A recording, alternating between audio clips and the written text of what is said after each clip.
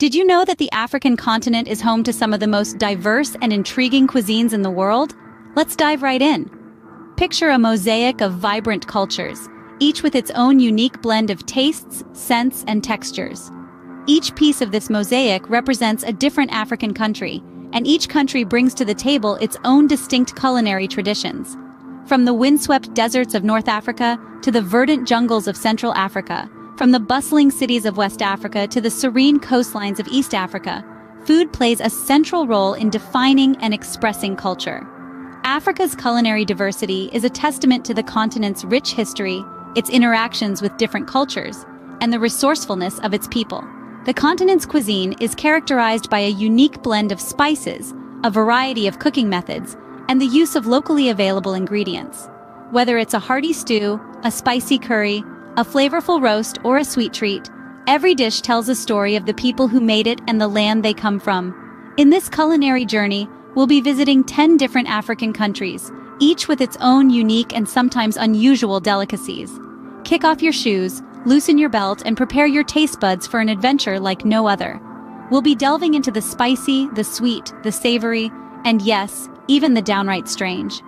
From Ethiopia's distinct delicacies to Senegal's seafood surprises, from the DR Congo's caterpillar crunch to Egypt's fermented fish feast, and finally to South Africa's exotic mopane worms. These dishes may seem unusual to some, but they are a testament to the creativity and resourcefulness of African cultures. Every dish has a reason for being, whether it's born out of necessity, a product of the environment, or simply a cherished tradition passed down through the generations. Now that we've set the scene, let's explore some of the most unusual foods from across this vibrant continent. Starting off in Ethiopia, where raw meat is a delicacy, the dish, known as kitfo, has a special place in the hearts of Ethiopians. Kitfo is typically made from high-quality beef, minced and warmed in a pan with a touch of spicy butter and chili. This dish is traditionally served raw, much like steak tartare, but it can also be lightly cooked for those less adventurous. Kitfo isn't just a random weekday dinner choice, it's a dish savored on special occasions, from weddings to religious holidays. It's a testament to the rich and diverse Ethiopian culture, where food is not just about sustenance, but also about community, celebration, and tradition. The custom of eating raw meat in Ethiopia might seem unusual to outsiders, but it's just one of the many ways in which the country's culinary practices differ from the Western norm. From the highlands of Ethiopia, we now journey to the coastal regions of Senegal. In Senegal, they have a unique twist on seafood called yassa fish. This isn't your everyday fish dish, folks. What makes yassa fish stand out is its marination process. The fish is bathed in a concoction of citrus and onions for hours, allowing it to absorb a tangy, zesty flavor that's truly unparalleled. This marination process is not just for flavor, mind you. The citrus helps to break down the fish, making it incredibly tender and easy to eat. And the onions? They add an aromatic sweetness that complements the citrus beautifully. But yassa fish is more than just a delicious meal. It's a symbol of Senegalese culture, a dish that brings families together, and a testament to the country's rich coastal bounty. It's a dish that's savored, shared, and celebrated. So next time you're craving seafood, why not give yassa fish a try? You might just find your new favorite dish. Leaving the coast behind, we venture into the heart of Africa, to the Democratic Republic of Congo. In the Democratic Republic of Congo, a crunchy caterpillar is a much-loved snack. Yes, you heard it right. These aren't your regular garden variety caterpillars, but a special breed known as the mopane caterpillar. This delicacy is not just about its exotic appeal, it's a potent package of nutrition too. Rich in protein, calcium, and iron, these caterpillars provide essential nutrients in a region where such elements can sometimes be hard to come by. Now, let's talk about how these tiny creatures are turned into a crispy treat.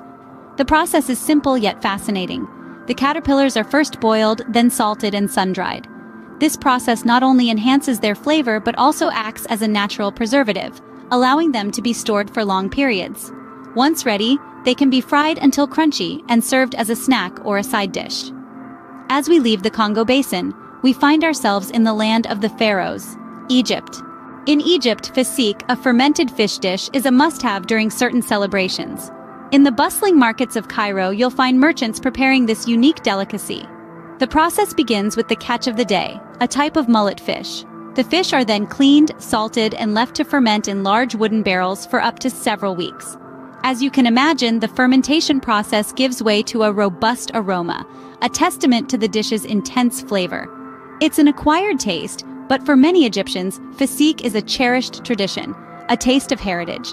This fermented fish feast is often the star of the show during the spring festival of Sham el Nasim, a holiday that dates back to ancient times. It's a time for families to come together, relish in the rich, pungent flavor of fasik, and celebrate the coming of spring. From North Africa, we now head down to the southern tip of the continent, to South Africa. In South Africa, mopane worms are not just a survival food, but a delicacy enjoyed across the country. Let's journey into South Africa's vibrant culinary scene. Here, the humble mopane worm, also known as the emperor moth caterpillar, is a beloved treat. These fat, juicy worms are named after the mopane tree, their preferred habitat and primary food source.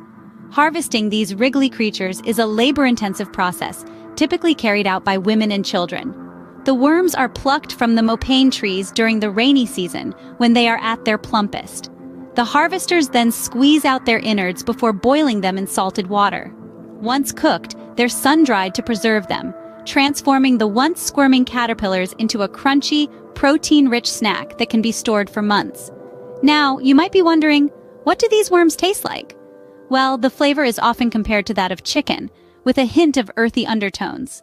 Their texture, however, is truly unique. When rehydrated and cooked, they regain a certain plumpness, offering a satisfying crunch followed by a meaty chewiness. Mopane worms are more than just a tasty snack. They're also a vital source of income for rural communities.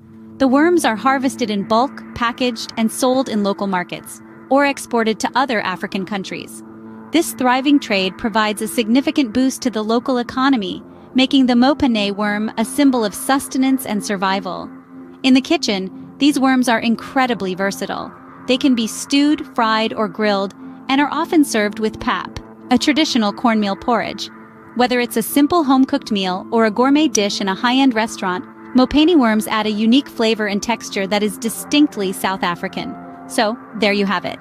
A dive into the world of mopane worms, a curious delicacy that reflects the resourcefulness and resilience of South African cuisine.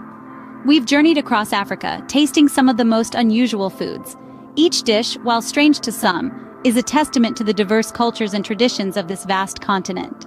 As we wrap up our culinary journey, let's revisit the intriguing foods we've discovered. From Ethiopia's raw meat tradition, a testament to the people's love for freshness, to Senegal's seafood surprise, showing their coastal influence and abundant marine resources. We've also explored the DR Congo's caterpillar crunch, a protein-rich delicacy that supports local economies, and Egypt's fermented fish feast, a historical dish that showcases the nation's ancient food preservation techniques. Lastly, we ventured into South Africa's exotic mopane worms, a sustainable food source that's not only nutritious, but also a significant part of their cultural heritage. Each of these dishes, strange as they may seem to some, tells a tale of the people, their environment, and their traditions. They are a testament to the diversity and richness of African cuisine, a true kaleidoscope of flavors. So next time you're feeling adventurous, why not try one of these unusual African delicacies? You might just discover a new favorite.